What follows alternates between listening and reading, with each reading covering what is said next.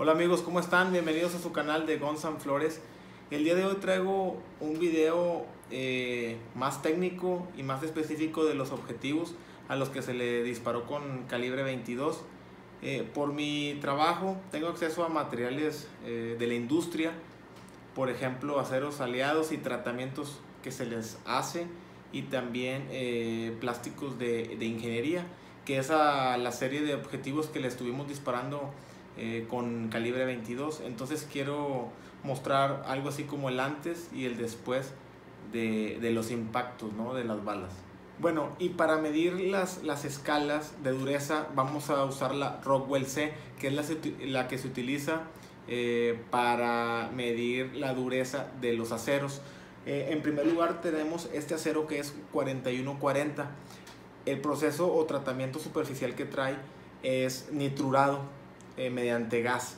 ¿Qué hace? Pues endurece la superficie, eh, las primeras milésimas de, capa de, de, la pieza, la endurece de 63 a 65 Rockwell. Si se fijan,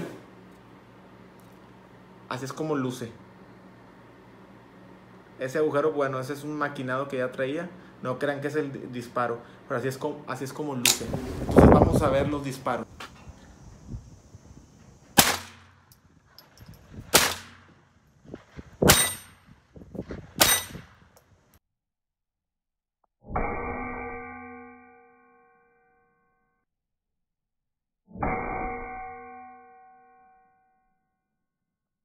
Bueno, y aquí pueden ver cómo quedó ese impacto. La verdad no le, no le hizo nada. Ahí ya nos podemos dar una, una eh, idea de lo que es el nitrurado.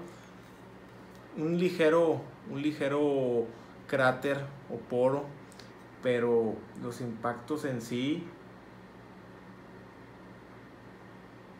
poco afectaron la integridad de la pieza como tal. Bueno, en segundo lugar tenemos este, esta pieza o este vástago. Es de acero también 4140, solo que este trae cromo industrial. Este tiene una dureza entre 60 y 65 Rockwell. Si se fijan, así es como luce el cromo industrial. ¿Ok?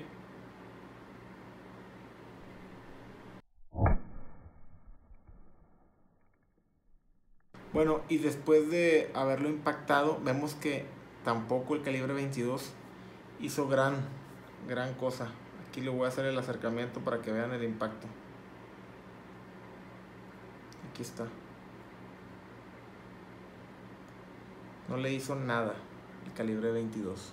Ahora vamos a mostrar este buje, también de 4140, acero al carbón, pero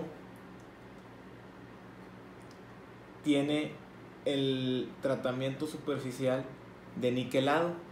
Es un baño de níquel que le da 60 Rockwell de dureza.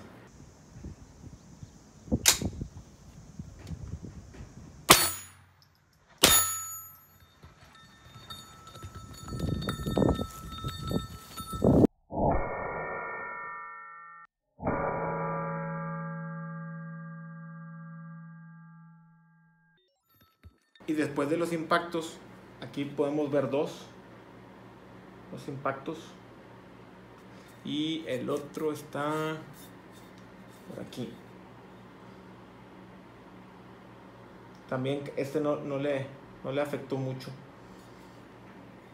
Para que tengan una comparativa, eh, el aluminio que es este, se tiene en otra escala de Rockwell, pero si la trasladé, por así decirlo, o la convertí a la escala de Rockwell C, eh, pues digamos que estaría en menos 14. Es decir, las piezas que les acabo de enseñar, aceros aliados con tratamiento superficial, eh, tienen arriba de 60. Bueno, el aluminio tiene menos 14.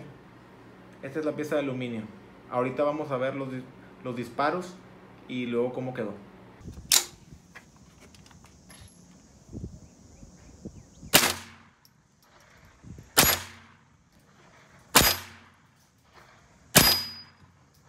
Bueno, y ya después de ver los disparos, este sí queda un poco ya como, como el, el enemigo de Terminator.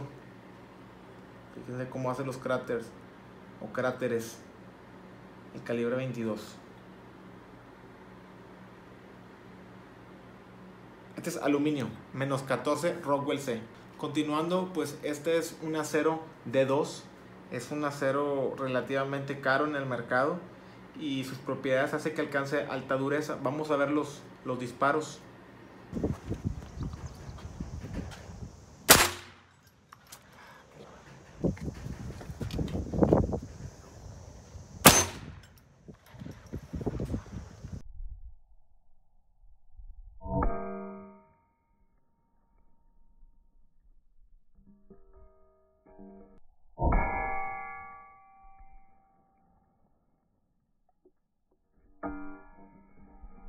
Pues sí, efectivamente, eh, trae alrededor de 55 Rockwell y pueden ver que los disparos casi no afectaron la superficie. Este material es placa de acero A36, es placa comercial, no digamos corriente, pero es muy, muy este, común, ¿verdad? Es, ese es para acero estructural, ¿verdad? Entonces vamos a ver los disparos y ahorita les muestro cómo quedó.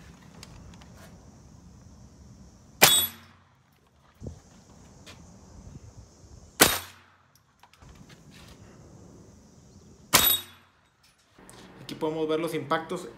Aunque trae menos Rockwell, eh, pues no le hizo tampoco mucho daño a la superficie. Sí se nota la, la porosidad y, y el, el, cráter. Esta trae alrededor de 15 Rockwell. Y no es muy notorio la diferencia contra los otros metales. Bueno, y ahora dejando los metales o los aceros aliados por un lado, este es un Nylamid, lo que se le conoce como plástico industrial. Tiene muchos usos en la industria porque es, es ligero y además es duro. Este tiene alrededor de, ese es otra escala, es 82 Shore, la dureza. Digamos que lo podemos posicionar entre una llanta de un vehículo y entre una suela de, de los zapatos en cuanto a, en cuanto a dureza.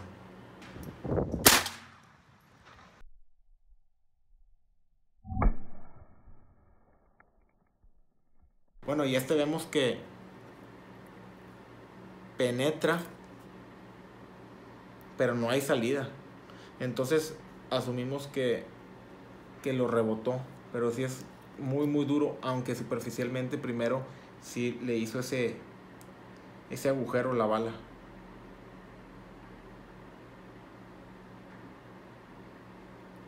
Bueno, y por último vamos a mostrar este plástico que es el Polymac. Este tiene 62 short, digamos que es la misma dureza de una llanta de, carro, al menos superficial.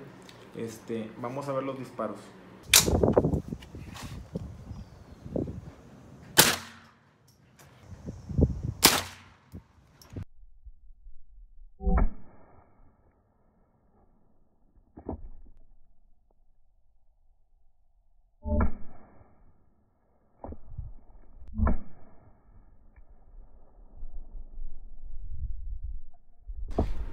Estos son, estas son las entradas, muy, muy marcada la, la, la, bala del proyectil.